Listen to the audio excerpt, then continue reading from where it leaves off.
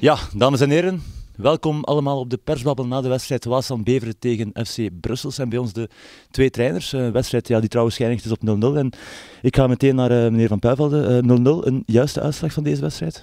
God, wat zijn juiste uitslagen. Hè? Uh, ik denk dat het sleutelmoment was rond de tiende minuut. Ik ben niet zo goed in minuten. Maar ik weet dat wij de wedstrijd heel goed begonnen. En dan dat schot op de paal van Snel. Dus ik denk dat dat een heel belangrijk moment was voor ons. Zeker voor de jonge verdediging waar we nu toch weer mee stonden. Uh, we moesten weer de laatste moment sleutelen aan die verdediging.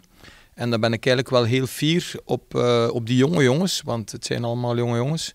Uh, dat zij toch ehm, die nul kunnen houden hebben. Was het niet altijd makkelijk. Want we weten dat Bever Waasland heel sterk is op stilliggende fasen. We weten dat ze heel sterk zijn in de omschakeling. En op die, op die momenten hebben ze het zij toch wel heel goed gedaan. En goed, ja, op het einde hebben we dan nog die kans, zij ook. Dat is zo'n wedstrijd waar, waar op het einde nog alles kan beslist worden. Dat wisten we. Dat was ook de reden waarom ik uh, Onyeka heb ingebracht, omdat hij snelheid en kracht heeft. En het lukte bijna goed, dan zijn ze een goede wissel, maar geloof er allemaal niet in, want als het zo goed was, dan moet hij starten. Dus uh, laten we het allemaal maar relativeren. En ik moet zeggen, ik, als Waaslander gun ik uh, Beveren heel veel punten. En hoop ik dat zij op het einde van het seizoen staan waar zij moeten staan.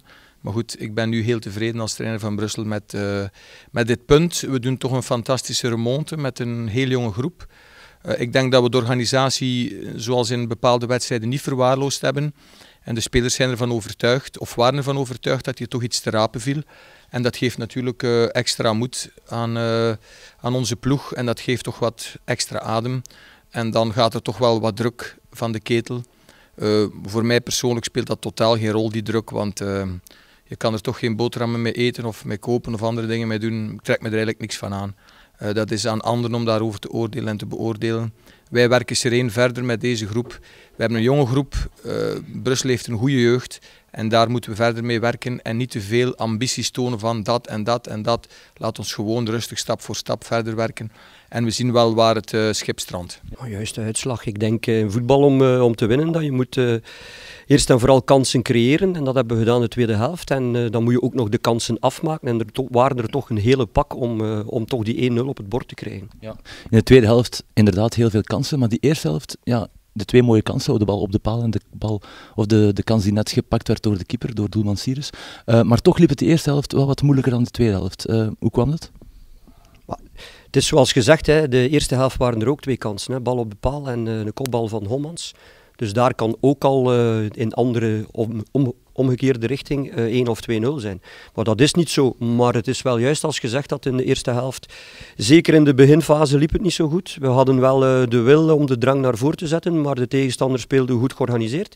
En we kwamen niet goed in ons spel. We zochten te vaak de lange bal. En bepaalde spelers waren vandaag niet in hun dagje, die in andere wedstrijden kunnen beslissend zijn. Maar in de tweede helft hebben wij ons als groep uh, zeer goed herpakt en hebben wij vrij dominant gespeeld en geprobeerd om naar onze eigen supporters er iets van te maken. En we zijn erin geslaagd. Alleen de kansen die er niet in gegaan zijn. En ja, je moet ze erin shotten. Hè. Ja. Dus het heeft niks te maken met een decompressie of zo na het, het feestweekend van vorige week? Oh ja, als je vandaag zes, zeven kansen krijgt in de tweede helft en twee in de eerste helft, dat zijn er negen. Er zijn ploegen bij die drie matchen bij elkaar moeten voetballen om eraan te komen. En als je dan die kansen niet afmaakt, uh, zou dat komen omdat ze zondag gefeest hebben? Dan denk ik niet hoor. Nee. Oké, we hebben nu die eerste periodetitel. Dat is al een hele mooie prijs voor dit nieuwe Waasland Beveren. Ja, we moeten nu, nu toch ook nog eens vragen op deze persbabbel. Um, waar reiken de ambities? je moet uh, stap voor stap gaan als club. Hè. Je ziet uh, de eerste keer dat je een wedstrijd moet spelen uh, waarbij dat de tegenstander toch in de tweede helft zich laat uh, wegdrummen of wegzakken en hopende op die counter om nog uh, op een diefje misschien de drie punten te halen. je moet zelf de creativiteit vinden om ook hier thuis tegen dergelijke ploegen die, die meer en meer op die manier zullen komen voetballen, proberen het slot te ontgrendelen. En we hebben het vandaag wel goed ontgrendeld, alleen het laatste sluitstuk uh, hebben wij niet kunnen te grazen nemen. Maar vandaag is het 16 op 18, een thuiswedstrijd. Ik denk dat we niet ontevreden moeten zijn. Iedereen verwacht er meer en meer van. we wisten dat er ook een keer ging, zou van komen. Hè. Dat gaat ook wel een keer op verplaatsing mislukken. Maar ik probeer om samen met de jongens bovenin te blijven, zolang het kan. En zeker tot nieuwjaar. En dan zullen we wel zien waar we ergens staan.